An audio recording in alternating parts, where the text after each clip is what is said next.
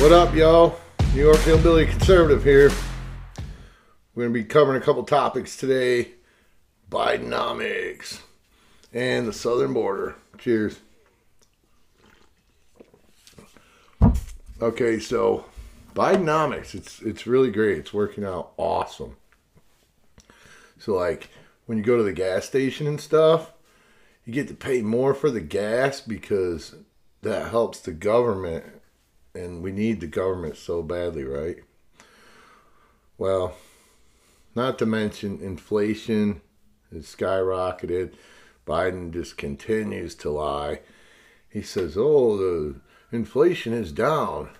Yeah, it's down a little bit from where he hiked it up. We got to talk about where it was before he became president. And then is it down? No. Look at the numbers. They don't lie inflation rate was whatever it was. I'm not going to get into the specifics, but it's way higher than it was when he started. And yeah, it is down a little bit from where he jacked it way up. That's the trick of the liberals. They'll jack gas up to like five dollars a gallon when it was only two nineteen when they took over in my town, anyways. And they'll jack it up to five dollars, then they'll bring it down to four twenty five or something and make it sound like it's a big deal. Ooh, we really helped you out. But at the same time, it's two dollars more than it was when they took office. So I, I really don't understand where they're coming from when they say it. It's down. It's not down. It's just the big lie, one right after another. So Bidenomics is basically Biden's insanity and lies. And frankly, I think he's like a little bit kooky or something. But anyways, this is a conservative view. If you don't like it, feel free to comment on what I got wrong here. It's an opinion show, so this is my opinion. What's yours? Okay. Also, the jobs, this employment numbers, the whole unemployment numbers has always been a lie, no matter who's been in office. That's just people seeking employment. It's not all the people that lost their jobs that a lot of them just gave up. And all this Bidenomics crap that he's praising himself, it's all just a hoax. One hoax right after another from the Democrats, I guess. Been a lot of hoaxes against the Republicans, including the all the stuff against Trump, hoax right after hoax, indictment after indictment, and Bidenomics will take care of everything, I guess. There'll be nothing left by the time Bidenomics is done doing its full job.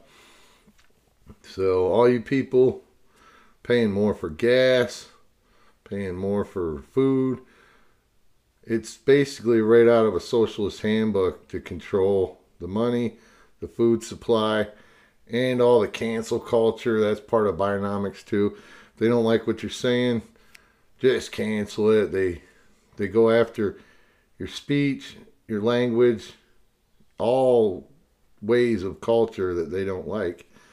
And they control the food supply with all the shipping problems from our great freaking, what's his name there? Uh, Buttigieg. He's supposed to be in charge of all that, and he's off playing games, doing whatever he's doing, going on maternity leave or paternity leave, whatever way you want to call it on that one.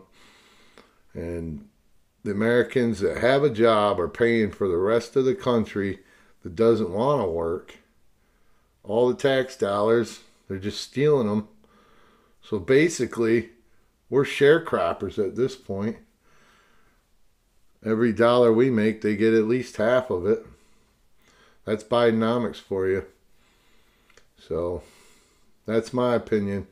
Leave some comments. Tell me what your opinion is. Okay. On to the next thing the southern border. That's a joke. We got the great Alejandro Mayorkas. He's controlling that, right? He's really fucking slick. Son of a bitch is saying the border's closed. The border's closed while we have video of people ransacking the border. And they're crying about these buoys that the Texas government's putting out there to try to control it a little bit because it's affecting them. And they're saying, uh, "Oh, that's that's terrible," but the southern border is not closed; it's wide open. So you got these people like legitimately want to come to our country, but they got to jump through so many hoops just to get on a plane, get a passport, come here. It's it's a joke. So like, if you really want to come to this country, take a freaking plane from some other country into South America somewhere where they don't give a shit. Get in the caravan with the motherfuckers and just walk over the border or swim over the border or whatever means you feel necessary to get here. It's way easier. And they'll give you a free phone and give you some money, put you in a hotel. And even from my state, New York, now the the governor of New York City or the mayor, whatever the hell he is, he's crying because there's too many of them now. So why is it okay for Texas to take them all? And New York doesn't want to. He's crying out for federal help now. And before he was like, oh, we're a sanctuary city. Yeah, everything's sanctuary until it's killed and there's no money left. And all the people paying for the shit move the hell out because they're sick of paying for it and go to a state where there's not all that crap going on. It's just ridiculous. And the one big mistake the liberals are making with all the South American immigrants coming in, they're thinking, ooh, everyone we let in, that's another Democratic vote because we basically paid them to come here by giving them phones, health care, pat the citizenship, give them a place to stay for free, welfare, Medicaid.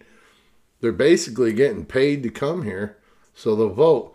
But the big joke is going to be on them in the end because all Hispanic people are Catholics and they're anti abortion and they're against almost every liberal view. So when they go to vote, they're going to just take the money and run and they're going to vote re- Republican because that better suits their values from the church. And the left is getting rid of the church. You can't beat the church out of Latino people. It's been in them since the beginning of time, and they're never going to give up on Jesus. So good luck with that, Dems. Peace out.